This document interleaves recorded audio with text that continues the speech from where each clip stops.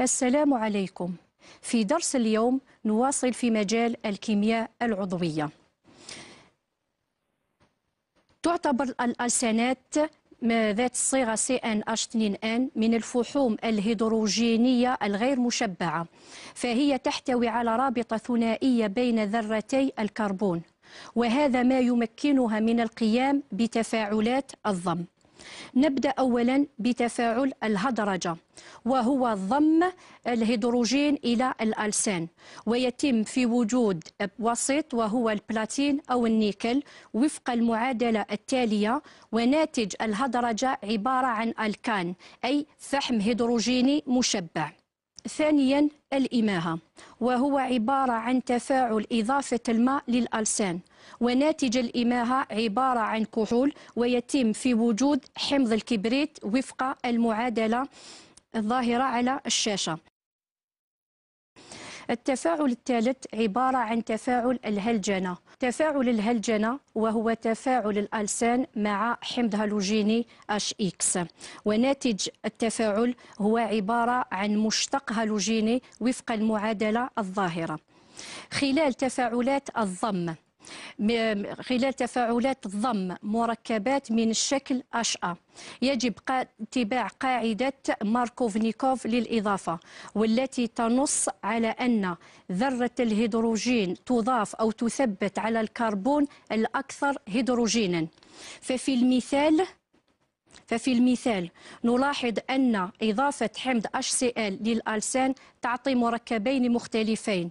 في أحدهما في الأول تضاف ذرة الهيدروجين ل HCl إلى ذرة الكربون الوسطية وفي المركب الثاني تضاف ذرة الهيدروجين إلى ذرة الكربون الطرفية أي CH2 والمركب الصحيح حسب قاعدة ماركوفنيكوف هو التفاعل رقم 2 يمكن بلمرة الألسان أي اتحاد عدد كبير من الجزيئات لإعطاء بوليمير أي جزيء عملاق ذو كتلة مولية كبيرة.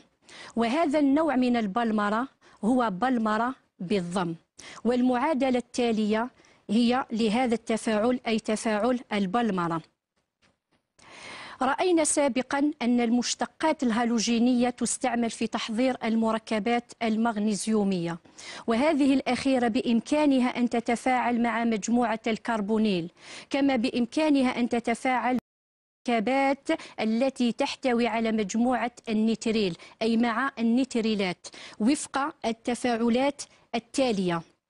بحيث يضاف المركب العضوي المغنيزيومي إلى مجموعة النتريل أو المركبات النتريلية ليعطي مركب مرحلي وبعد إضافة الماء ينتج في الأخير سيتون.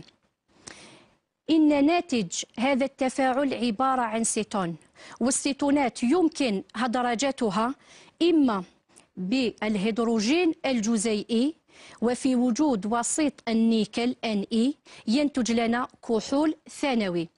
كما يمكن إرجاعها بهيدريد الليثيوم والألومنيوم وفي نفس الشيء وفي نفس الشيء نتحصل على كحول ثانوي.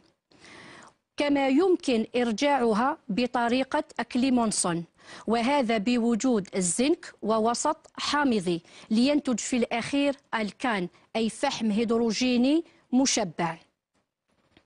والآن ننتقل إلى التمرين التطبيقي. التمرين ينص على ما يلي. أ عبارة عن ألسان كتلته المولية M تساوي 42 غرام على المول. يدخل فيها يدخل هذا الألسان في سلسلة من التفاعلات التالية. أولا يتفاعل الألسان A مع حمض هالوجيني HBr لإعطاء مركب B. في التفاعل الثاني المركب B الناتج يتفاعل مع المغنيسيوم في وجود الإيثر لإعطاء مركب C.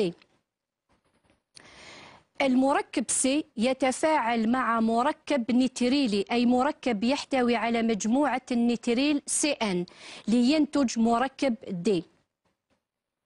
المركب D يتفاعل مع الماء ليعطي في الأخير مركب E. هذا المركب أو يفاعل بهيدريد الليثيوم والألومنيوم LE ALH4 ثم الماء لينتج مركب F.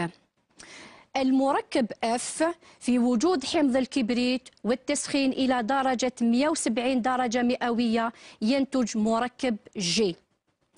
المركب G بتفاعله مع الأوزون O3 والماء يعطي مركبين H و E. علما أن H يتفاعل مع محلول فيهلينك و E لا يتفاعل مع محلول فيهلينك. المطلوب أولا استنتج الصيغ النصف المفصلة للمركبات A B C D E F G H و E مع إعادة كتابة التفاعلات. علما أن H لا يتفاعل مع محلول فيهلينك بينما E يتفاعل مع محلول فيهلينك. بلمرة المركب G تعطي بوليمير K اكتب الصيغة العامة للبوليمير الناتج وما نوع البلمرة. تعطى الكتل الذرية لكل من الكربون والهيدروجين. إذا نشرع الآن في حل التمرين واستنتاج الصيغ نصف المفصلة للمركبات A, B, C, D, E, F, G, H و E. علما أن الألسان إذا علما أن A عبارة عن ألسان وكتلته المولية 42 غرام على المول. إذا يمكن كتابة كتلته المولية بدلالة N على الشكل M تساوي 12 N زائد 2 N أي تساوي 14 وهي تساوي 42 إذا يمكن حساب N وهي 3 إذا الألسان المدروس يحتوي على ثلاث ذرات كربون أي صيغته العامة تكون من الشكل C3H6 وصيغته نصف المفصلة هي CH3 CH رابطة ثنائية CH2 إذا الآن نبدأ بالتسلسل التفاعلي.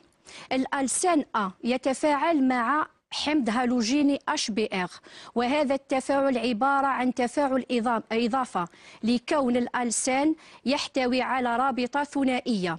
وباتباع قاعدة ماركوفنيكوف نلاحظ أن ذرة الهيدروجين للمش... للحمض الهالوجيني تثبت على CH2 الطرفية لتصبح على الشكل CH3 والبروم أي ذرة الهالوجين تثبت على ذرة الكربون الوسطية.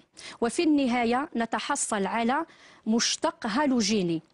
هذا المشتق الهالوجيني B سوف يفاعل مع المغنيسيوم Mg في وجود الإيثر لنتحصل على مركب وسطي مركب وسطي C.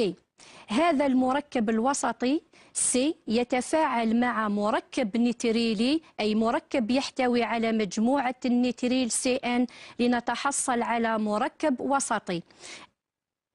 المركب الوسطي D يتفاعل مع الماء لإعطاء في الأخير مركب وهو السيتون.